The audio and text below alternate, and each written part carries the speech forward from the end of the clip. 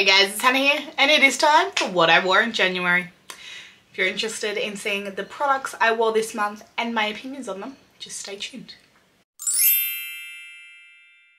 Okay, so most of these products are what I packed for the States because obviously that was three weeks of January and then I got sick. Um, so I haven't worn a heap of makeup since then. So it is mostly that stuff, but a few other bits and pieces thrown in.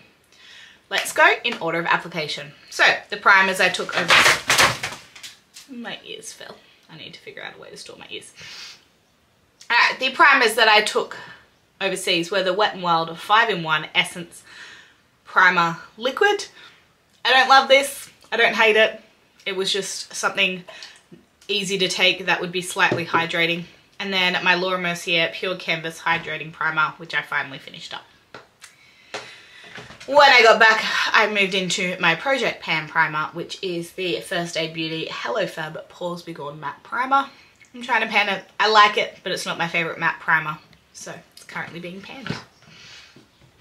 For foundations, the foundations I took with me are the IT Cosmetics CC Plus and the Laura Mercier Tinted Moisturizer. I mix these together to get a nice medium coverage, long wear, but hydrating product.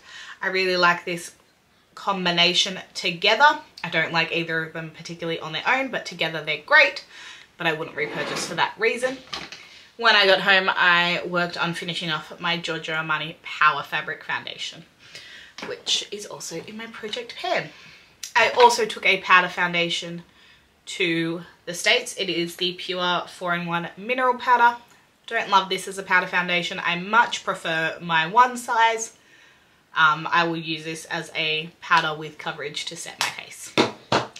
Also took the Laura Mercier Mini Translucent Powder with me to set when I used the liquid foundation combination and to set my under eyes the Dior Powder No Powder that I have been panning and you guys all know about.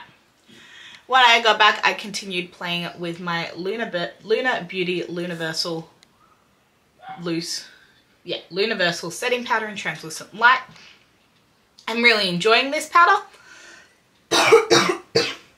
Apologies, I'm recovering from being unwell.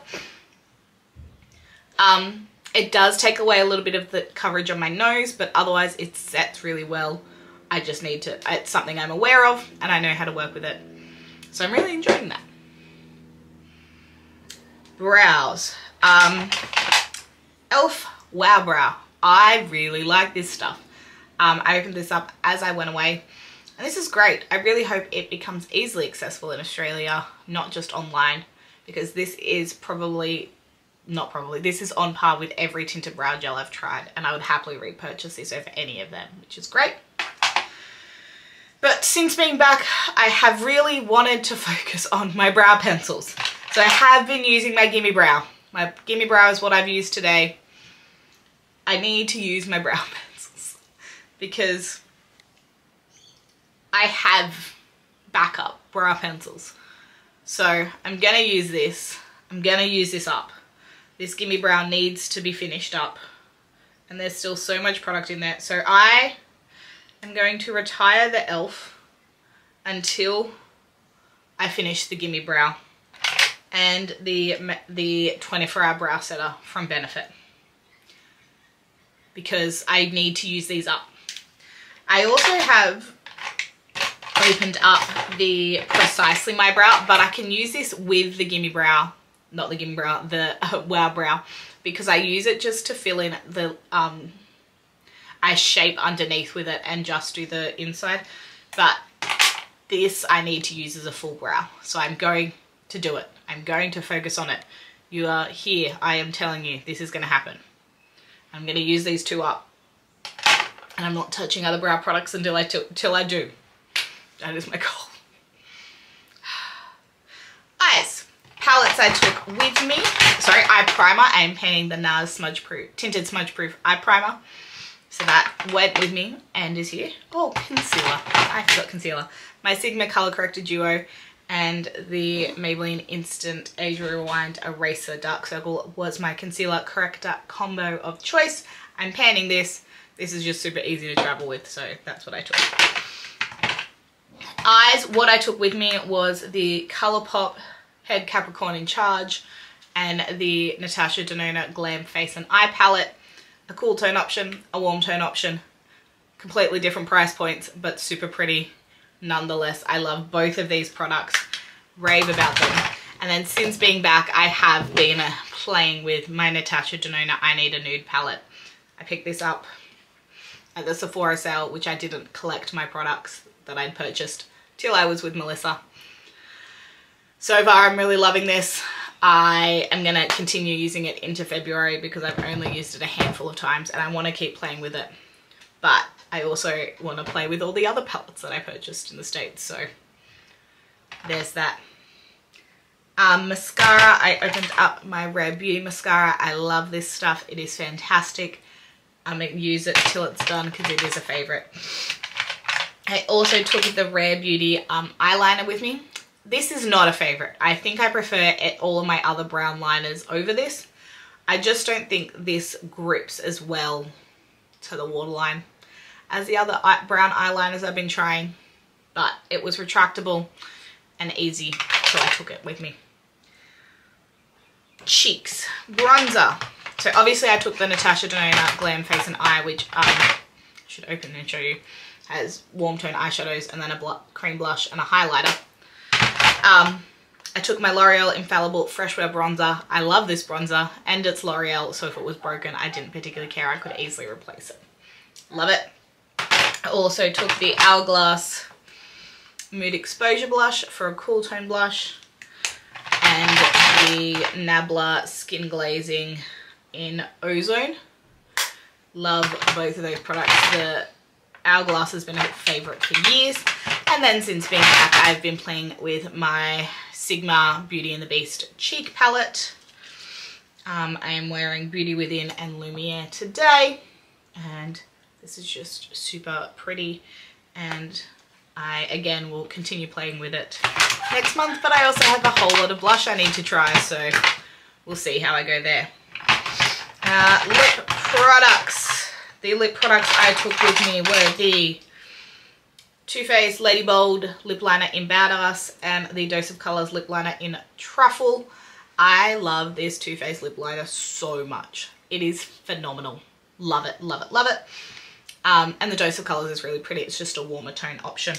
And I took three glossy lip products with me. Um, M Cosmetics Mona Lisa Lip Luminizer, e.l.f. Hydrating Shine lip product, Hydrocore sh Lip Shine in Giddy, and a Colourpop Glowing Lip in a colour I don't know because it doesn't have a sticker on it. Um, these are super duper pretty hydrating colours. I swatched that in the, swatched all of the makeup I took with me in the what I packed video. So if you want to see swatches of those, go there. Um, I didn't swatch the I Need a Nude because I swatched it in the haul that you're going to see soon. And something else from that haul that hasn't gone up yet. I forgot that you haven't seen this haul yet. So I bought, so these are things that I bought while I was in the States. Um, the Revi Beauty Effortless Lips. So I'll swatch these for you. Um, the one I'm wearing today, let's start with that, is Lily. And it is a gorgeous sheer nude. I'm going to put a little bit more on because I can. Then we have Dahlia, which I wore yesterday, which is a more pinky nude. And then the one I wore in the video that is coming where I bought all these products is Tulip, which is the pinky raspberry shade. Super pretty, super comfortable, effortless lips is a fantastic name for them.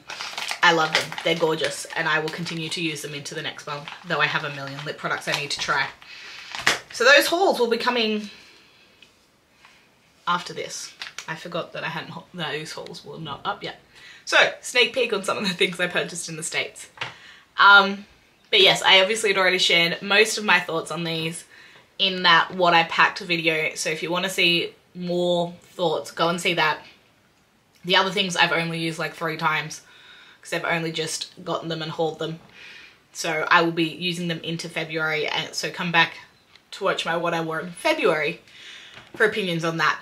Um, setting sprays I took to the States were the MAC Fix Plus and the Charlotte Tilbury Airbrush. Love both of those. And then since being back, I've been using my panning, the one I'm panning, which I don't love, which is the MAC Fix Plus Stay Over. So that's what I wore in February, and not February, January. Give this video a thumbs up if you liked it. Let me know what products you've been using lately and your thoughts on them. I'd love to chat. And click subscribe to stay tuned for the huge hauls that are coming with all the makeup I bought in the States. Almost made it through without a second coughing fit. I will see you guys in my next video. Bye.